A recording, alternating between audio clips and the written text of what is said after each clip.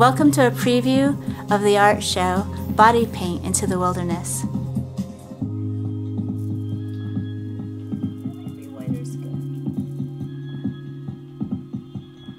I'm hoping that these creatures on stilts will bring some of the characters of my paintings to life. And I crave a sensual or theatrical exploration of the wilderness. That vast frontier of our minds.